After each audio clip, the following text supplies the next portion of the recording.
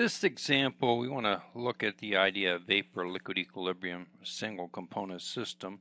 And so the question is what happens if we add one liter of benzene liquid to a two liter tank that is a fixed volume and we initially evacuate this tank and we inject in this one liter we keep it isothermal, what is the behavior, what we would expect to see. And so, so the idea is, and look and say we have a two liter tank and we add one liter of liquid, well, we expect that we're going to have about one liter of liquid in the bottom of the tank, but we have to have benzene vapor above it. Since the tank is not filled by one liter of liquid, we're not going to have a vacuum existing above this liquid. Instead, we have to be in vapor liquid equilibrium so that the fugacity of benzene liquid equals the fugacity of benzene vapor.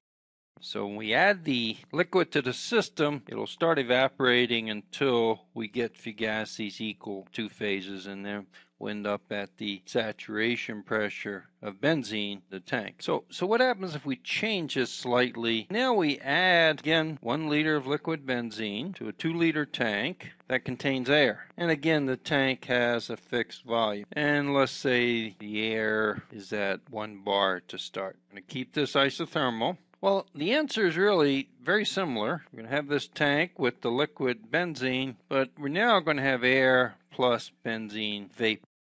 And if we assume at low pressures that ideal gas is a reasonable approximation, then the benzene and the air really don't interact, don't know the other species there in the gas phase. So the pressure to benzene is going to be the saturation pressure to benzene. Pressure of the air is going to be approximately 2 bar, because we start out with air at 1 bar. We've now reduced the gas volume to half its original value, so we've doubled pressure of the air. And we would expect that a small small amount of air dissolves in the benzene. Maybe a very small amount that we often would ignore it, but from a fugacity viewpoint, fugacity of air in that liquid phase must equal the fugacity of air in the vapor phase, the two bar pressure of air. And it can take a small amount before those fugacities are equal. So the important point is that fugacity is the driving force for mass transfer until we get to equilibrium, or we could express it as the chemical potential as the driving force, and benzene evaporates till it has the same chemical potential in the liquid phase as in